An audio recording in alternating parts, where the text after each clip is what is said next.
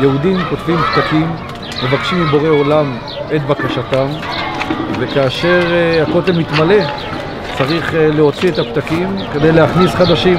אז פעמיים בשנה לפני ראש השנה, לפני פסח, אנחנו מפנים את הפתקים, קוברים אותם באדמה על מנת שאף אחד לא יוכל לפתוח אותם, ואז מתפנה אה, מקום לפתקים נוספים כדי שאנשים יוכלו לשים את פתקיהם.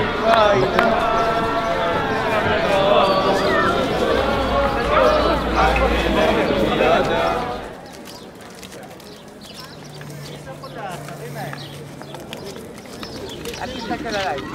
Tutti per me. Tutti per me, come fai?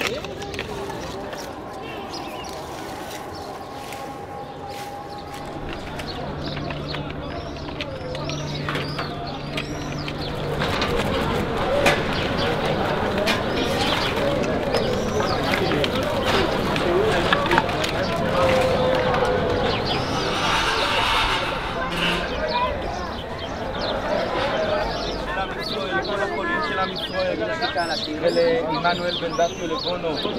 פה, פה, פה, מאחורי הקיר הזה, יוריד לנו בפיס מקדוש מאש משמיים. מאש מקדוש במהירו ביומנו.